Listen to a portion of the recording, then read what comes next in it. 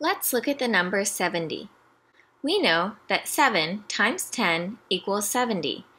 So, 70 divided by 10 equals 7. 7 goes into 70 10 times. Let's look at the number 1,800. 180 times 10 equals 1,800. So, 1,800 divided by 10 equals 180. Let's look at our bar model. Here you'll see 1,800 broken up into 10 equal groups. Each group has 180. 180 times 10 equals 1,800. 1,800 divided by 10 equals 180. Now we're going to divide by tens using a place value chart. Pause the video and fill out your place value chart. Excellent. Let's start with 70. 70 is already written in our place value chart with the 7 in the tens and the 0 in the ones. Now we're going to divide by 10. How many zeros does 10 have?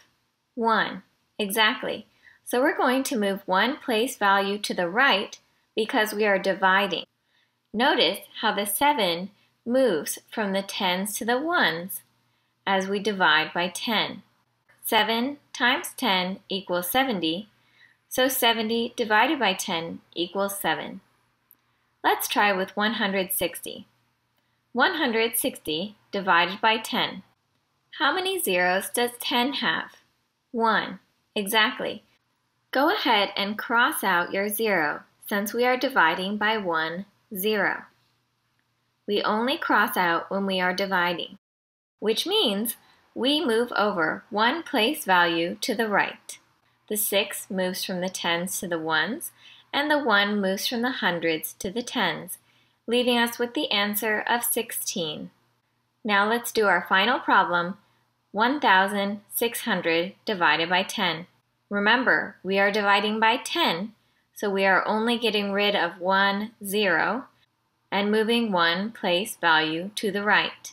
The zero from the tens moves to the ones, the six from the hundreds moves to the tens, and the one from the thousands moves to the hundreds, leaving us with the answer of 160.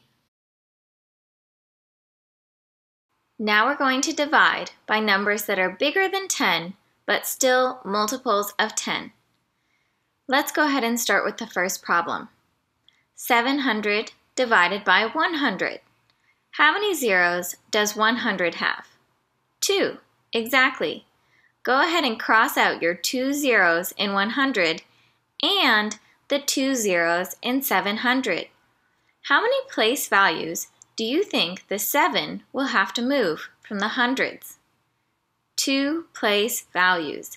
The 7 moves from the hundreds to the ones, making our answer 7. Now let's do the next problem together. 3,600 divided by 100. How many zeros does 100 have? 2. Go ahead and cross out the two zeros in 100 and the two zeros found in 3,600. How many place values will we need to move? 2. The 6 moves from the hundreds to the ones, and the 3 moves from the thousands to the tens, making our answer 36. Let's divide by our biggest number yet, 1,000. Let's solve 54,000 divided by 1,000. How many zeros does 1,000 have? 3. Go ahead and cross out the three zeros in 1,000 and the three zeros in 54,000. How many place values do you think we'll need to move over? 3. Move the 4 from the thousands to the ones and the 5 from the ten thousands to the tens, getting the answer of 54.